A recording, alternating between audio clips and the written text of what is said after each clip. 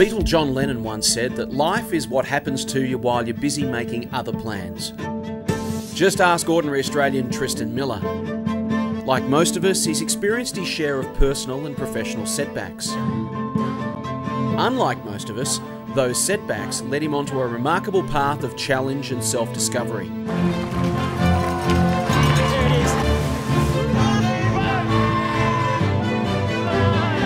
While the rest of us were busy planning life, Tristan decided to get out and live it, setting himself the seemingly unrealistic goal of running 52 marathons in the 52 weeks of 2010.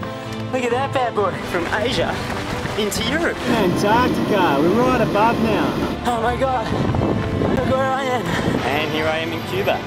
His odyssey would take him across all seven continents and, in the process, inspire thousands of would be adventurers worldwide. Hey, Mum. Good feeling. Tristan's story, an Aussies Abroad special, starts now.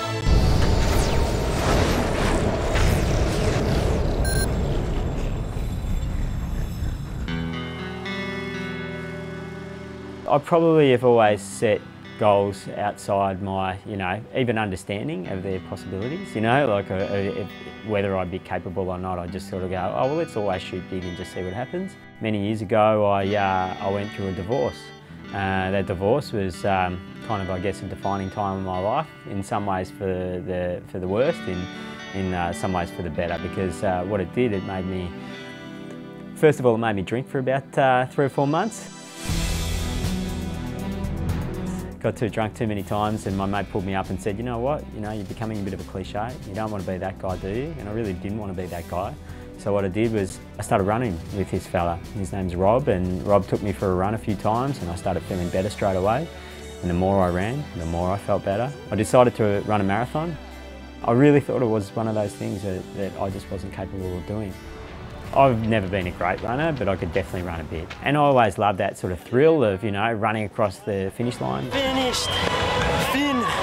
As the say. Laid out a plan, I did all the training, I finished a marathon, and when I finished it, that moment, that just changed my life. It just said, you know, you can do anything. So, do anything. What are all the other things that I've been thinking I couldn't do that I should try to do? I've run like a marathon a year for about six years, did a couple of halves and all that kind of stuff. And luckily a few of my friends got involved as well, so running with other people always makes it a lot easier. It was just a nice little add-on to the rest of my life. You start getting fit, all of a sudden you're motivated again. Running along with the Dazzler, yeah. first run. How you feeling, buddy? Oh, it's feeling great. Yeah. I was working for Google, the phenomenal Google, the outrageous Google. It's a huge company and uh, it was an amazing place to work. They expanded very quickly over a 10 year period around the world and they opened little offices in places like Melbourne. Unfortunately, global economic crisis, you know, best laid plans for everyone. Didn't quite turn out the way I hoped it would, having this amazing job, and they shut my office. So I was at a little bit of a loose end. What do you think so far, mate? Pretty good? I was training for an ultra marathon at the time. Oh, my son. Uh, the famous Comrades Marathon over in South Africa. So I headed over there to, uh, to finish that goal. It's a really difficult race. But it turned out to be probably the most, one of the most positive, interesting experiences in my life.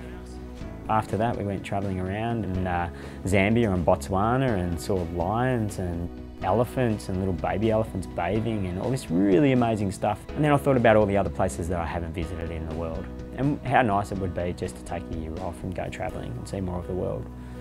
And I thought about the whole running and the whole travelling thing and how it's a great dynamic. I'd seen a calendar in Distance Running magazine and there's races in all sorts of countries every single week and you're just looking at it going, wow, if you really wanted to, you could go to all these different countries and take a camera and do a video and talk about these races and all that kind of stuff. And gee, wouldn't that be nice?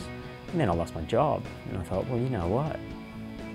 You know, that could be a rea reality if that's what I wanted. The idea was just bubbling away in his head and he, the Google office had closed down. He said, I don't know whether to move on into the corporate world at this point or not, or whether to do what I want to do and follow a dream. And I said, sweetheart, right now, really, before you settle down and have a family, is the time to do the dream. And so I started putting a plan together. And that plan evolved over about six months, but by the end of the year, it was pretty exciting. At what point was it real?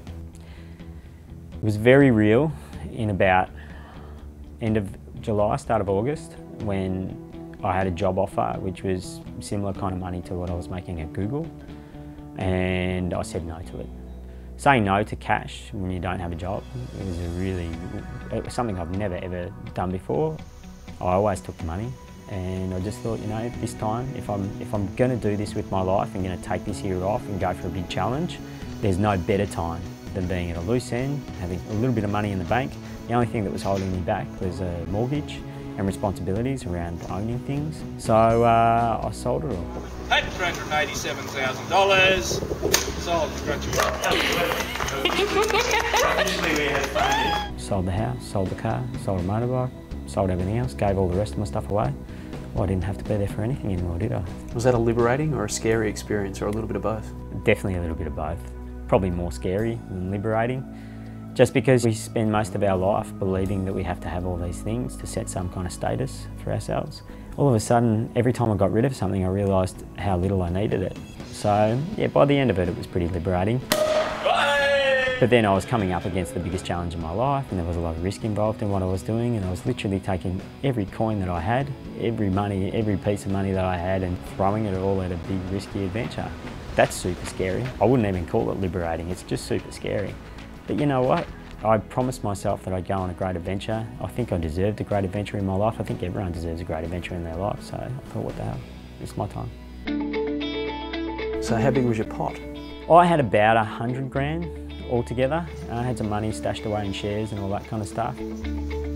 I knew that if I just went by myself and lived on milk and rice or something, it'd be 60 grand if I had to. But that would not allow me to do any of the fun stuff that's involved in travelling and it would have to be really restrictive on the type of places I go to.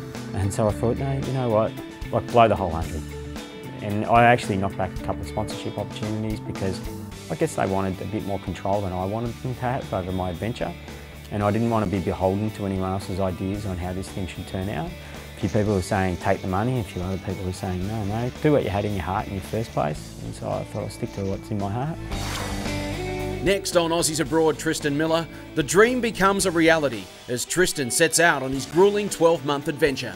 Up until January the 1st, I'd run six marathons in my life, one of them an ultra marathon. Um, that was the only international one I'd done. In the month of January, I ran seven marathons. So anything could have happened now. I could have broken myself numerous times. And I felt like I had a couple of times.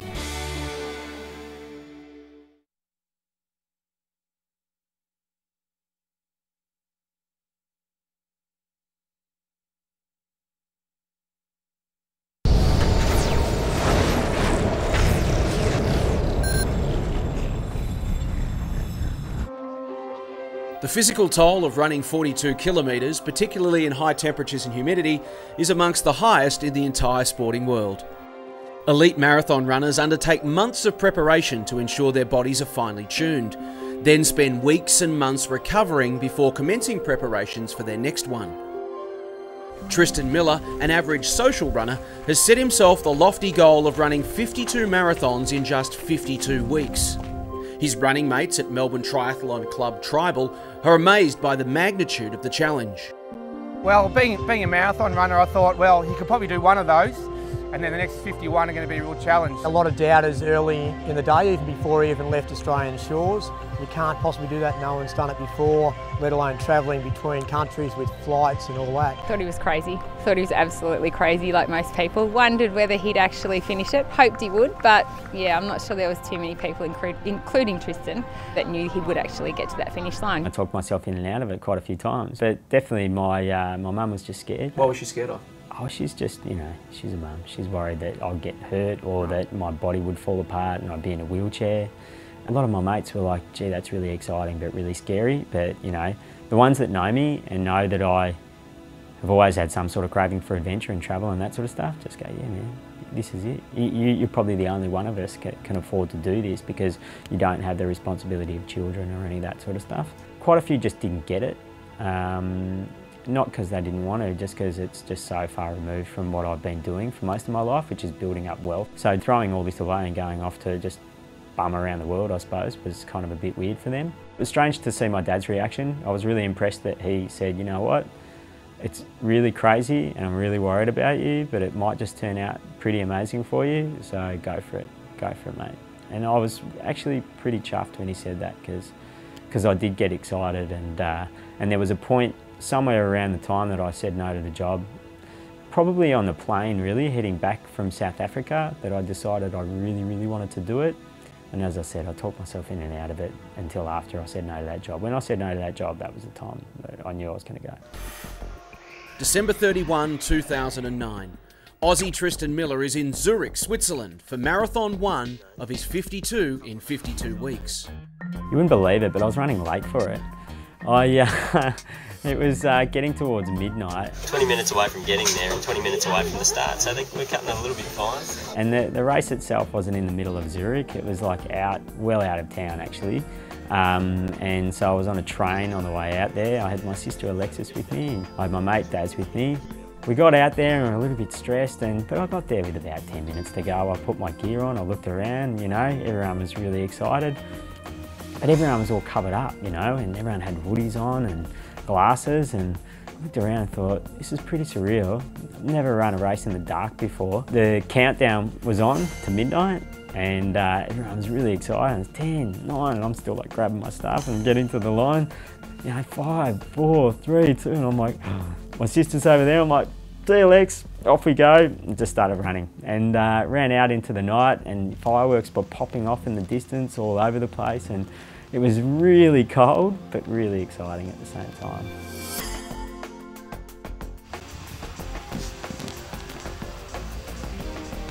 Everyone was breathing hard, and there was, you know, sort of steam coming out of people's mouths and everything. It was pretty magical. How long did it take you to get into a rhythm of what your weeks were going to be like? Well, those first few weeks were pretty full on. I actually think I was pretty stressed out. I didn't know how I was going to go. I mean, up until that time, up until January the 1st, I'd run six marathons in my life, one of them an ultra marathon. Um, that was the only international one I'd done. In the month of January, I ran seven marathons. So anything could have happened there. I could have broken myself numerous times. And, um, and I felt like I had a couple of times. The next one was in Israel and it was actually really hot. So I got really uncomfortable. I need a walking break right now. I've hit the wall at 36 k's. It really hurts. I did another one in Mumbai, which I only just managed to keep under four hours. Pretty much ready to die. Number three done. Number three, yes. After I did that, I got kind of annoyed that I was getting slower. And I just decided, no, look, I, I don't have to have myself wrapped in cotton, cotton wool. I'm going to have a long year ahead of me. And I just started picking things up a bit. By the time I got to Dubai, I started racing a bit faster. Am I finishing? A couple of days later, I raced in uh, Las Palmas over in uh, the Canary Islands and I did a PB. A week later, another PB. Interesting that way your body just took a little while to adapt and then eventually the mind just told the body, well, this is what we're doing, and the body went, okay, this is what we're doing then, and then you just get into a bit of a rhythm. Tell us about what you do during the week between races. I definitely have a day off after the race. I don't do too much on a Monday. I'll, I'll get around and have a look at some of the sites, but I, you know, stay off my legs a little bit. Um, I try to travel by Tuesday. Another day, another airport. Get the flight out of the way. By Wednesday, I want to be on the track and running in this new place. Usually pretty jet lagged though, and it's hard to get going, but I've given my legs a couple of days to relax, so it should be okay. I usually just feel out that first run, just do sort of 10 Ks and don't go too quick, and my legs usually feed a few signals as to what kind of injuries I'm dealing with. The monotony of travel, airports, rental cars, buses, hostels, Yeah. waiting for airport security checks. Yeah. How do you deal with that mentally? I, I, I you know, for me, it's the most stressful part of my year. I'm not a guy that likes wasting time, and unfortunately, getting on and off planes is a massive time waster. And uh, I did some sums the other day, and I think I've spent a solid 400 hours, like in, in you know airports In and stuff like that in yeah. transit. So uh, it's a huge, It's a massive amount of time. amount of time. I can't fall asleep in an airport because I'll miss my plane, and that's come close a few times. So Right. you know, like I get a bit stressed about that sort of stuff. It's a good point you raise about time zones. Uh, How much have they messed with you? yeah, it's been the worst thing. I've been jet lagged for quite some time now. I find it really difficult to sleep more than a few hours um, because I just keep, I've switched so many times. Yeah. I actually sleep only for maybe two or three hours at a time in general. No, it's just become the, the norm for me. and I wouldn't recommend it to anyone because it's not good, relaxing recovery sleep. Couldn't tell you where I am. I just woke up on the train. And so I get to the end of the week and I, I, I can't sleep before a race because I'm, I'm kind of still a little bit anxious. And so I only get maybe four or five hours before a race and I can only sleep four or five hours the night after a race because my legs hurt so much. Right. And I just can't get comfortable. And then the next night I'll probably get up early and get a plane. So then I'm always in that cycle, you know? I know this seems like this is your reality right now. It probably seems kind of normal to you to be doing this, but Yeah. in a couple of years' time, you'll probably look back at this and think, how on earth did I manage to do this? Yeah, I certainly won't be uh, sa- saying, oh yeah, I'd go and do it all again, you know? Like, I'm not, I think this is a one-off thing that I managed to pull off. I don't know how I've got away with it without having to skip a race or anything like that. Um, you know, knock on wood, I've still got a few to go, but you know, it's really getting done. A guy asked me when I did a talk at Google today, hasn't all this like staying in hostels and you know, like having to sleep on park benches, hasn't that just made you harder and stronger? So when you do go out there and smash a marathon, you know, you can you feel like you could do anything. And I'm like, yeah, I probably wouldn't mind trying to do it the other way and staying in some hotels and relaxing and that sort of stuff. Maybe I would get better if I got a bit more sleep. I had some problems with my calf, calves in the early days and I got really, really worried about that. But um, well, they're all strapped up these days and all held together by tape, so you know, it's not so bad now. But then I'll try to do a fast run before the end of the week and then, you know, just feel that I can run fast again. And then I get to the weekend and have another crack, see what happens. And you roll on. Yeah, yeah. I usually have a party after the race, so you know, I try to celebrate my wins, sort of get out for a few beers with the locals. I'm a tourist, you know, and I really do try to get out and see the pyramids and see the gorillas and take side trips and go to Gallipoli and you know, I went to a music festival, Roskilde Music Festival in Denmark. It's huge, it's amazing. In Argentina, I went to Iguazu Falls, I got to Easter Island. You know, I've seen astonishing stuff around the world. So I try to be a tourist because I may never get back to those places. Next on Aussies Abroad, Tristan Miller, the enormity of the task sets in. Tristan suffering both physically and emotionally. I was really lonely, I was really sick, I couldn't be far away from a toilet and I couldn't get my stomach to settle. And for two weeks I was just losing weight basically and uh, remained really sick. I'm getting angry. Ah, I'm a machine. I'm a machine. I'm a steam train. I'm. Oh, I'm just gonna get there.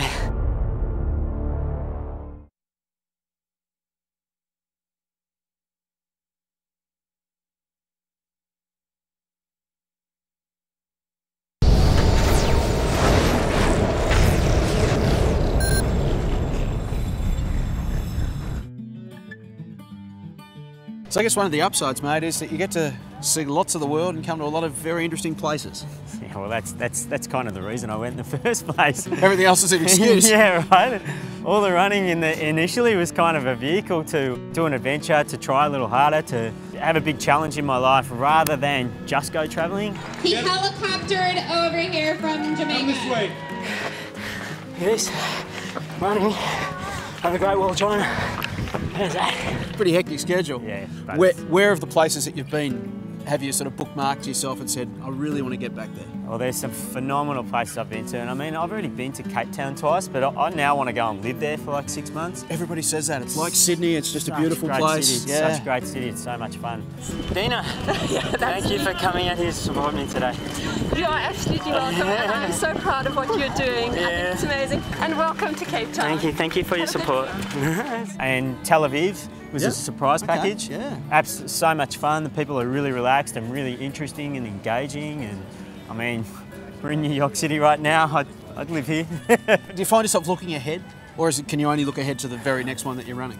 Oh, look, I mean, you can't help getting excited about some of the big races. So New York's always been that one in the distance that I was looking forward to.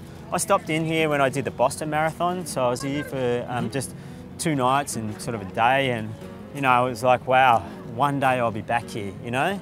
Um, but the idea of thinking too much about that when I had so much to get through and so many other places to appreciate first, Yeah. you know, I mean, I'm going to Cuba in a couple of weeks.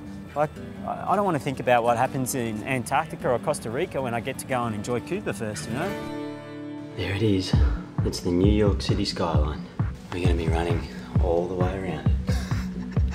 New York City Marathon, marathon number 45.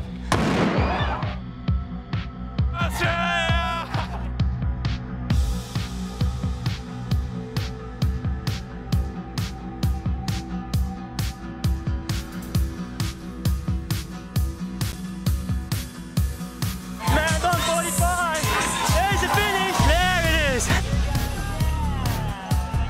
It was bar none greatest marathon of my life. It was just so exciting to be out there, like from start to finish. The crowd at the start, just the people wanting to start running, they were just so pumped and so excited to be there. Once you started hitting the streets, the crowd support in certain sections, they were just screaming everyone's names, the guys that I was with, and I, I was just like shaking with excitement, you know, laughing my head off.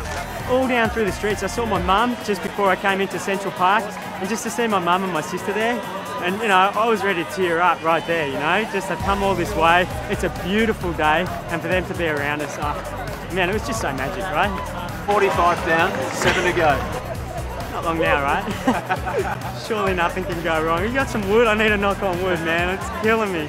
But every week is just such an epic adventure, and every week just has its own, you know, own gift for me. And this has been, this has been everything I hoped for, you know. And it just gets better. And so many people, I had French guys and American guys coming up to me, going, "Man, I've been watching you all year. You know, it's such an honour to see you." I had some other friends out there, my friend Andrew Ola out there. He found me twice, three times, just running with me with an Australian flag, you know, and man, it was just too exciting. It makes me feel like someone, you know, that's like more than I am, you know, and I'm sitting there going, this guy's so elated to hang out with me for a minute, and I'm like, man, I'm just hanging, I'm happy to see you, you know. It's more than I could have hoped for, right? It's, I mean, it's the greatest year of my life, and now the greatest day of my life, you know? Just unbelievable, unbelievable. What's the closest you've come to stopping? I don't feel like I've ever been in the vicinity of stopping as such.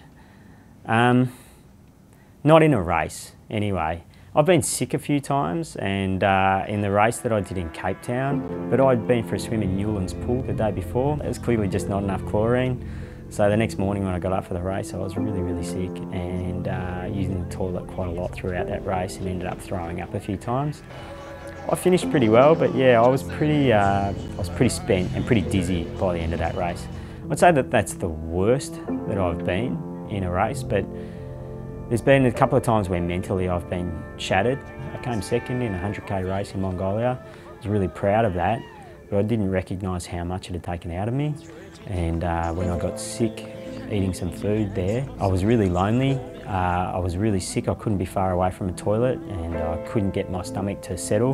And for two weeks, I was just losing weight basically and uh, remained really sick. He's very much a people person, so when he was surrounded by people, he was on top of the world. Um, the hardest times I think were in some of the more remote non-English speaking countries like Mongolia and places like that, where he didn't have people around him and didn't have people that he could actually engage with um, that well, and, and those were the times that I think he struggled the most. Started getting quite depressed. Couldn't speak to anyone around me because no one spoke English. It was a bit frustrating, but, um, but yeah, it was still an astonishing experience. Like in retrospect, it's probably the most emotional but the most interesting part of the trip. These are my legs. These guys right here. They've worked so hard today. So hard this year. But they're machines legs. They're robot legs. I talk to them, I tell them what to do, and they just keep going.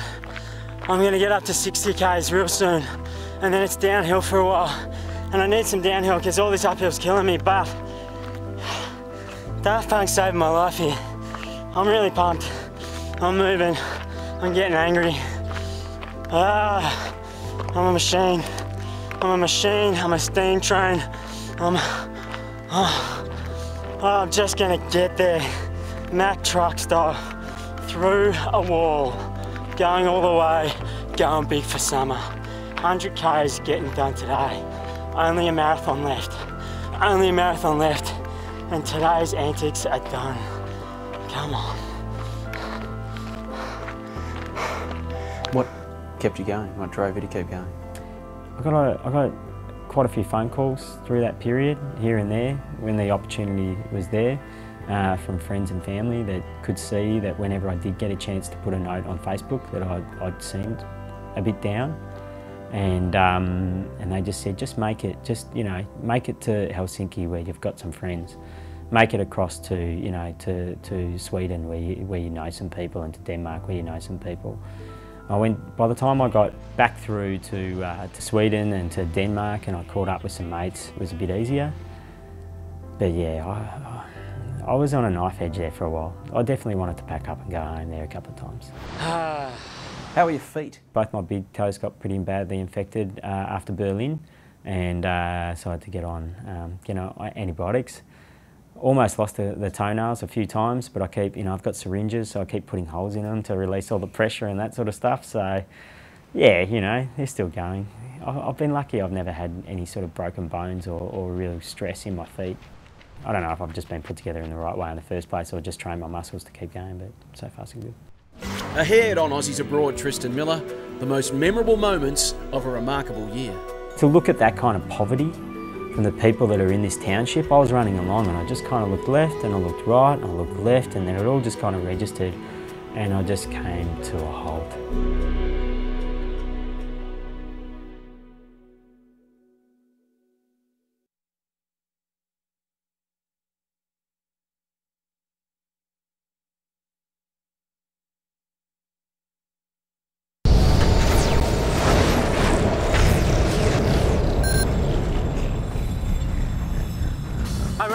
Running with Antonio here. Yeah, for you. This is marathon number four for him. And, and for you? And for me? Yes, and for you. What, number nine for this year. No, no, nine yes. for this year? Where is it? It's possible. It's uh, January, February. Yeah. And this number four. See, I'm running 52 marathons in 52 weeks. All around the world. Yeah, see, run like crazy. Hey. What's the most incredible thing you've seen this year? Being out in uh, in Mongolia was uh, the race that I did there was a 100k race in uh, Lake Hovsgol. It was the most remote place that I've ever been in my life. I mean, it was so departed from anything that we ever see. And uh, it's a national park. It's even a long way from Ulaanbaatar, which is their capital city. But if you go out to Lake Hovsgol, it's, it, they call it the most beautiful run in the world and, uh, and it's got to be up there with the two oceans as the most beautiful runs that I've ever seen.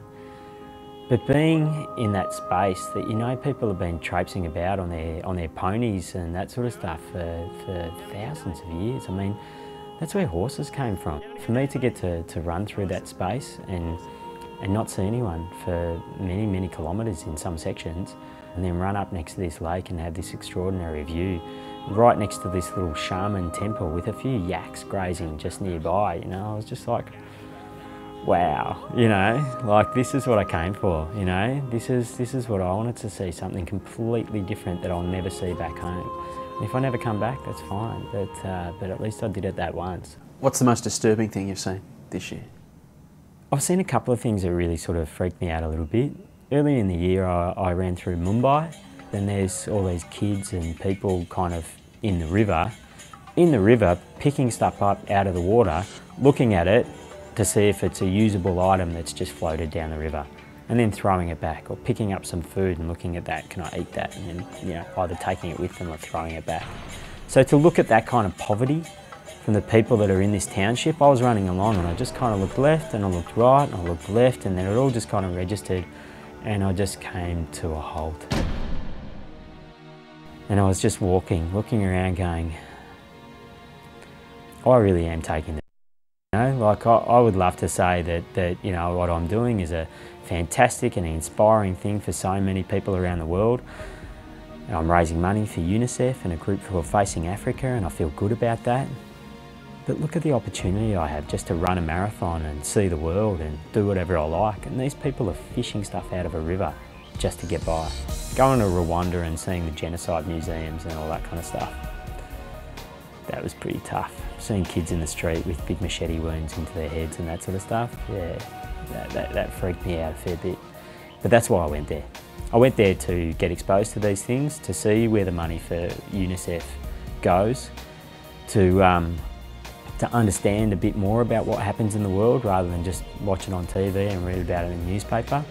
I didn't want to just run just to run in fantastically wealthy places around the world. I wanted to see how the other half would as well. Why raise money for charity? You know, probably if I was a better person, I would have taken the 120 grand that I gathered to spend on this trip and just give it all to UNICEF.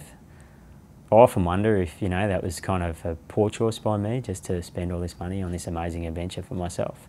Say hi to the camera. I did sort of consider, you know, how else I can raise money and, and um, I, I do have a lot of people following me on this trip this year and I asked them just if they will to donate $10 or the cost of a movie ticket. They've been reading my blog over a number of months and watching the videos then that's not a big ask for them to, do, to donate that money directly to the UNICEF account that I've got set up and to Facing Africa, another group that I like to help. Um, I feel like, like I should be doing more. I hope that in the future I can. How's this changed you, this experience? I like to think I've evolved. I like to think that I've become a better person, or at least a more patient person with life. Um, there's a lot more things that I want to do with my life, and I think that uh, I, certainly won't be as afraid to uh, take on a challenge of uh, doing something that I would have otherwise thought impossible. But also, I've come to really respect the rest of humanity. I must say that um, before this year, I've often wondered if people are either fundamentally good or fundamentally bad or stupid people. I say that because there's so much greed and so much horror and so many wars and so many other things that go wrong in the world. But most of what I've seen, places like Israel and India and Rwanda, most of the people living there, they just want to get by, you know.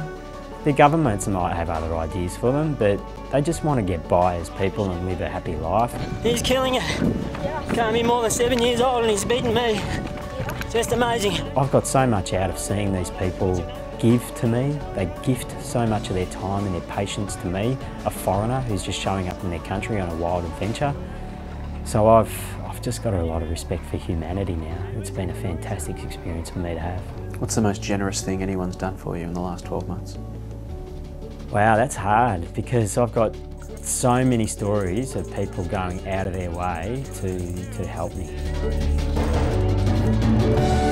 I've had quite a number of people fly over from Australia to, to race with me in uh, Tokyo, in Berlin, in Sweden, New York. I'm blown away by the fact that people want to change their holidays, change their life, and uh, take the two weeks or whatever they've got and come and spend it with me somewhere around the world. So people have literally been changing their travel plans, like, and I'm talking, you know, a couple of dozen people have been changing their travel plans just to hang out with me.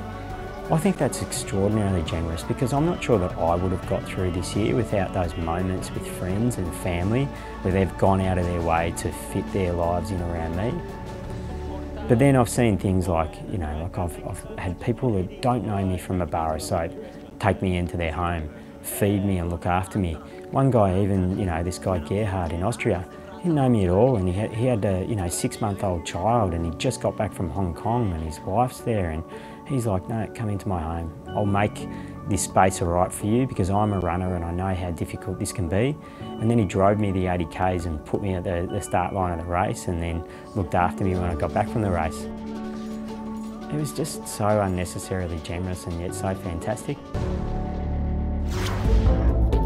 Ahead on Aussies Abroad, Tristan Miller, rather than cruising to the finish, Tristan embarks upon his toughest challenge of the entire year a marathon across the ice fields of Antarctica. I've just got to take this one step at a time, put my gear back on, make bigger air holes in my uh, face mask because I just couldn't get enough oxygen in and was getting out of breath.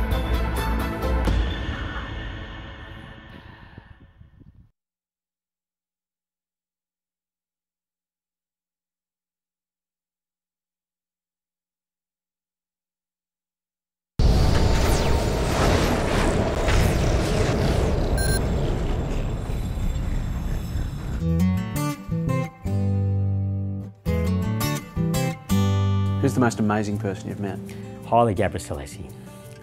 You know. You answered that straight away. He's a great man, you know. He's truly the most extraordinary person on earth. He, um, he can run faster than anyone else can across that kind of distance, and yet he's so humble and so lovely. And I was in a press conference with him in Dubai. He heard about what I was doing. Someone brought it up and said, you know, this guy in the crowd here, he's running 52 marathons in 52 weeks around the world. And he's just shaking his head going, Yeah, very difficult. that's magic. To fly and run and run and fly, it's impossible, but it's magic if you can do it. Good luck. You know, and he shook my hand and he gave me a smile and I tried to hug him. I got a bit weird about it, but it was just so magic. We've spoken about how this experience has changed you and how your perspective on life's changed. What have you learnt about yourself in the last 12 months? It's going to sound a little cliche, I guess, you know, a little lame or, almost, but you know, I, I think I can do anything. I, I've, I've tried to break myself any number of times this year and uh, coming up with new insane things like, you know, why don't I just go and go to a music festival and halfway through it, take my mate across to the other side of Sweden, run a marathon, drag him back to the music festival, dance away, fly back the next day down to Pamplona to the running of the bulls, run with the bulls, try not to get gored or killed, get in a car, drive to across France to Switzerland, run up Mount Zermatt, which is really, really steep by the way, and get to the end in like five hours and five and a half hours, get in the car, that same night drive down to a place near Reggio Emilia in Italy called Bassana, get out of the car in the morning, run another race. Over mountains again in the Tuscan hills and get through it and looking at that, I, it should have been impossible. It should have broken me. In, in fact, just drinking and running and partying and running and trying not to get gored by bulls, what am I thinking, you know? I mean, think about the long-term goal. What about the long-term goal? Getting through 52 marathons in 52 weeks, which is hard enough as it is. But I just wanted to live this whole year as, as fully and as you know as uh, as much as I could, and and I think I haven't failed myself in that respect. That's for sure. So I've done as many many things, as many crazy things as I could possibly do in one year, and I think I've just developed a fantastic love for life that I'd like to perpetuate. We've been on this journey with him since he was training for them last year, and we'd penciled in Berlin at the start of the 52 and we never knew how far he'd go. Um, but to actually get to Berlin and know he was still running strong, and know that that was about the time when he needed a little bit of support from home, and he knew us guys were coming a long way out. Three days before the marathon, his brother and his sister had come out from uh, from England and Australia to be there with him. And, uh, and, and he went out for that night. We went to dinner with him and we thought we'd get a bit of an early night, ran the marathon on Sunday. He and I had a really big night with his brother and sister. Got in the following day, 5am or something like that, and we just gone, Tristan, you've blown it. You've blown it. I mean, you know, here you get a chance to run a flat course, great course, run a really good run. And he said, oh, no, I just want to enjoy myself while I'm here. My brother and sister don't see me that regularly, so just make the most of it, which he did. Two days later at Berlin uh, Marathon and runs a PB.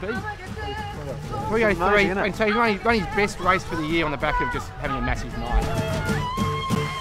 Most of the conversation has been about the running, but there's actually been a lot of travel that has been um, involved, and he is amazing in terms of learning the history of countries and things like that. So he just he has this way of just learning about every single country and city that he's been in. So he's an absolute wealth of knowledge now. What he has learnt along the way, the friendships he's formed, uh, what he's learned about each country, the history, the richness of, of the people he's just developed so much knowledge about the world and he's you know obviously come back with so much confidence about what he can achieve um, in life generally.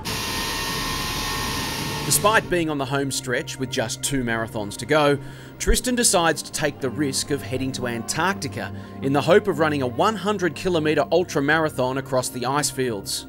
It's a risky proposition both from a physical and a logistical perspective. There's nothing I could have anticipated and certainly nothing I've trained for this year. Uh, I I actually went for a 5k run the day before I ran the marathon just to sort of you know check my gear and make sure everything was in order. And after 5k's, I was looking around like out of breath, and uh, and my legs were in all sorts just from running on this this snow, and just thinking. Oh, how am I going to run another 37 k's? And then how am I going to run the 95 another 95 kilometres to do the 100k race that I actually initially went there for? I've just got to take this one step at a time, put my gear back on, make bigger air holes in my uh, face mask because I just couldn't get enough oxygen in. Uh, the air pressure at the, at the poles is actually apparently quite high. and, uh, and therefore I was just sucking down and couldn't get enough oxygen into my system and was getting out of breath. This is a tough, tough course. Antarctica, baby! You'd find yourself though running on a patch of ice and so you get a bit of rhythm and then you'd hit snow and then you'd hit ice and snow. So it doesn't matter where you're running, you can't find a direct line to run. It's really, really awkward. And, you, and my body's not used to doing anything like that. So my hip flexors were getting strained, my legs were getting tired. I, I was like trying to just bat away at the snow and trying to fight it for a while and then you give into it and you're just kind of paddling away hoping to get to the end, you know. What sort of time did you run? Just under five hours. Yeah, I was actually getting close to coming to third place by, by about the sort of 37k mark, and then I just, oh, I was tired. I ran out of steam. I ended up coming sixth. I ran like crazy, baby, and then I'm coming home. I'm gonna come home. I can't wait to come home. The last 5k's I was walking and running and walking and running and just trying to get to the end. But the run itself is just part of the Antarctic Challenge. The region's brutal weather making getting out of Antarctica a tricky proposition. A protracted delay could ruin Tristan's hopes of getting his 52nd and final marathon completed inside the 52 weeks. Getting to Antarctica and back again was a bit of a concern for us, and because uh, it took a couple of goes before he left, I think Chile to get to Antarctica. So we're sort of thinking, okay, what if that's the case coming back? So imagine doing all this work and then getting fired up for marathon 52, and he actually doesn't make it. So, in the back of my mind, I was kind of a little concerned that he wouldn't make it back. But, as has been the case all year long, Tristan's luck is in, and he manages to sneak out of Antarctica before the weather closes in. After the break, his 52nd and final marathon. Back on home soil with a few hundred of his closest friends. Yeah, it's pretty exciting, you know. Like I'm trying to get myself to stay calm enough to get through a race first, you know. But then, uh, yeah, as the day wears on, I think I'm going to get more and more emotional.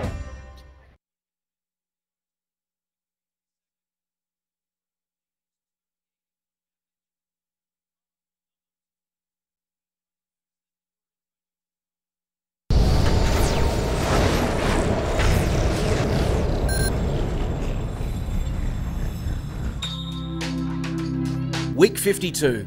Tristan is back home in Melbourne, preparing for his 52nd and final marathon of the journey. What began as a passing thought early in the year has ultimately materialised into a fully sanctioned run like crazy marathon. Hundreds of runners, some of whom have travelled from overseas to be here for Tristan's grand finale. This came up as a great idea at the start of the year where I just thought, you know, 52 marathons in 52 weeks is great.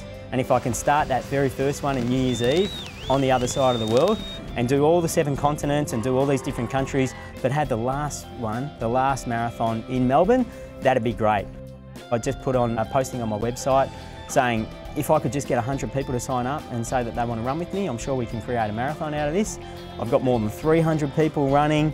There's hundreds more coming down to support. It's turning into a big festival. It's actually a sanctioned marathon, you know, like it's, it's turned into this great event and it's just a dream come true. It's literally, the entire year has been a dream come true and I've woken up back in Melbourne to this amazing dream that's, that's just evolved around it it's nice to have heroes. And that's one thing I've taken away from it is that all of these individuals all over the world have randomly, yet not randomly, met him at a marathon or stumbled across him on Facebook or on the web uh, and are championing him along the cause. And I just think it really shows you how much, how alive the human spirit is and how much his mission has helped people become a lot more alive, which is just, you know, it's crazy, but it's amazing. I'm seeing people from Paris Marathon, New York Marathon, all these other marathons that I did around the world. They're reintroducing themselves to me and uh, it's really nice to see them. Some people have just been following me online and actually they're talking to me as though you know, they know yeah, they've known me this whole time. Is this when it sort of starts to hit home, becomes real that you've been an inspiration to people, that people have actually followed your story and picked up on it and, and been inspired? Yeah, I mean, it's phenomenal. You know, you hear it from your friends and you hear that, you know, that, that they've been talking to people in the street about me and all that kind of stuff, but then when you have strangers come up and talk to you and just say how pumped they are and that they've never run before until they started running just to be a part of this race itself, that's great.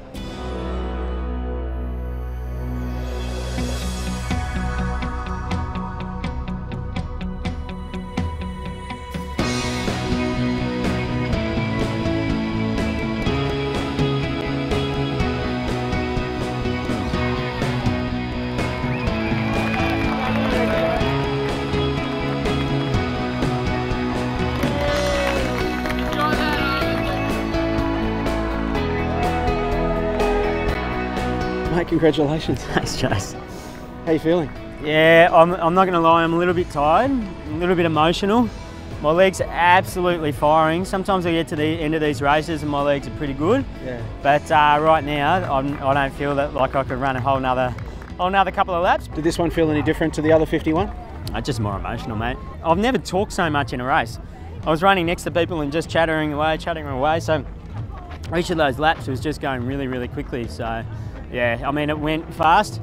But then, you know, it's still 42k. I still felt it through my body. I have been talking to my legs quite a bit over the last few weeks. Have they been listening? well, they've just been hanging on for dear life. So, you know, there was a bit of chat, and I did talk to them a few times and go, if you'll just pull through another few more weeks, then I'll let you do whatever you want. I'm tired from all the travel, and I'm tired. I knew that when I came home that I'd have to stay switched on for a few days just to get through this last race and to uh, and to get through Christmas and all that kind of stuff. But, um, but from tomorrow, from tomorrow, I, I think my brain's just going to capitulate and just uh, take it easy for a while. But uh, I can't wait to catch up on a little bit of sleep and, and not have, you know, I've put a fair bit of pressure on myself to keep completing this and I wouldn't mind just giving myself a little, sort of, my brain a little rest, my body a little rest. Next week, you go back to a normal life, whatever that might be? Yeah, I'm, I'm still grappling with that a little bit, Jace. I, I don't actually know, I don't know what's next, mate. I'd like to write a book. I want to keep running. I want to keep having great adventures because I know how addictive it is and how fantastic it is. I found Dietmar! I've met amazing runners around the world who invited me to come and stay in their country and run their massive marathon. I want to keep growing beyond this. How have you grown? It's strange, you know, like I guess I started this, this uh, adventure wanting to, wanting to become more of the man that I always hoped I'd be. And I think the man that I've always hoped to be has grown beyond my understanding now, you know.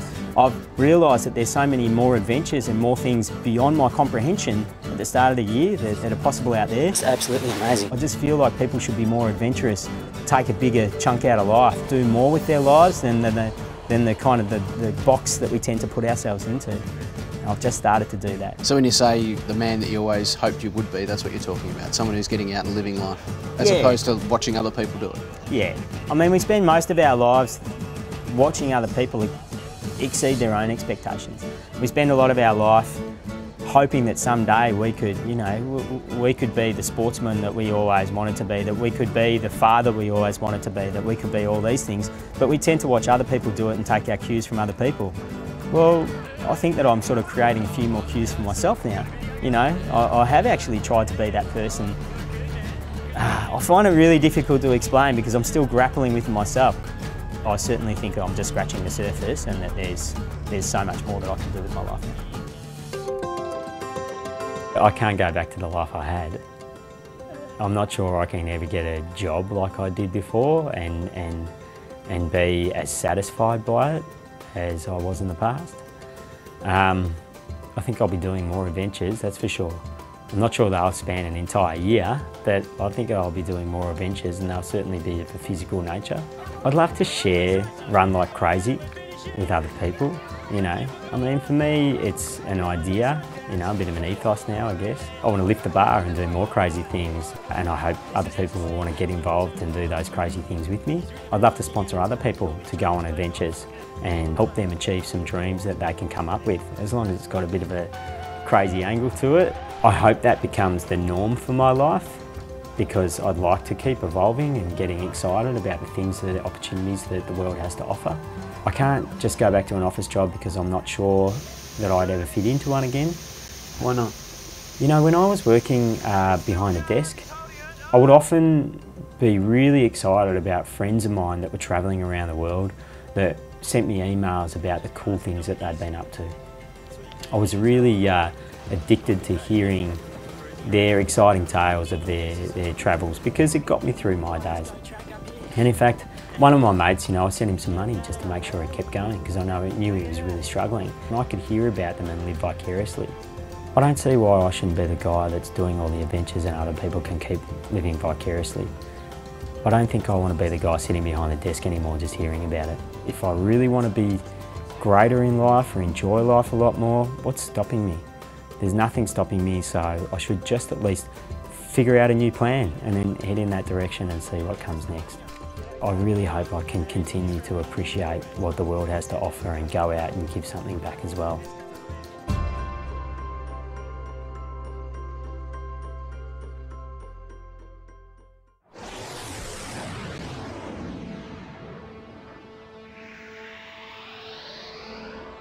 What's the message that we can all learn out of him doing this? You got a goal, you got a dream, go for it and, and don't get stopped by no. Yeah, it's going on number one, don't fish with. Get up and live as if you're going to die the next day. with the boys. Tokyo. Think big, be bold, and just get out there and do it. Yeah, top of the world, ma. Don't ever give up, just go for it. All for you.